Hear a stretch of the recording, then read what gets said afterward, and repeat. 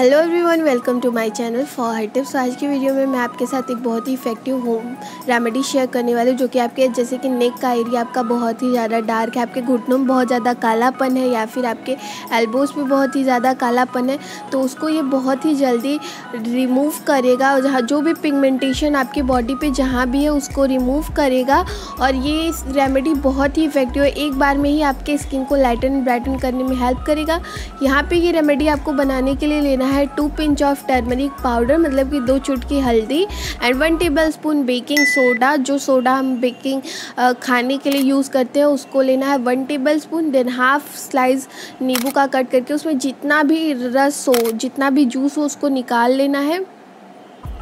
और फिर इन तीनों को अच्छी तरीके से मिक्स करना है। आपके बॉडी पार्ट पे कहीं भी आपको अगर पिगमेंटेशन की प्रॉब्लम है, आप वहाँ पे अप्लाई कर सकते हैं। आपको फेस पे ये रेमेडी नहीं अप्लाई करना है।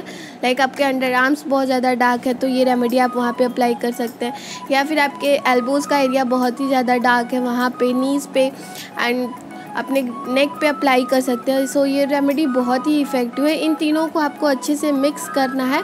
एंड या ये एक्स्ट्रा क्वांटिटी में बनती है तो अगर तो इसको आपको दोबारा यूज़ नहीं करना है। आपको हर बार नया बनाना है।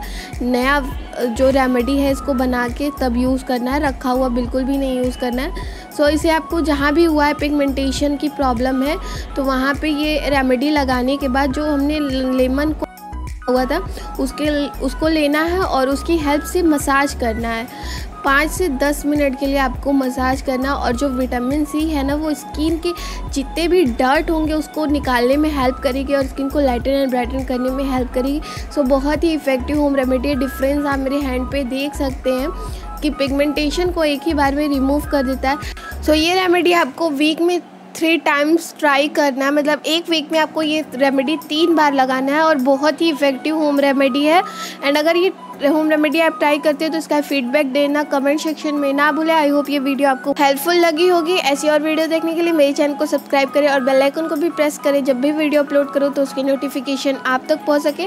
एंड या अगर किसी टॉपिक पर आपको वीडियो देखनी है तो कमेंट सेक्शन में ज़रूर बताएँ। Thank you so much for watching my video मैं मिलती हूँ अपने नेक्स्ट वीडियो में। तब के लिए बाय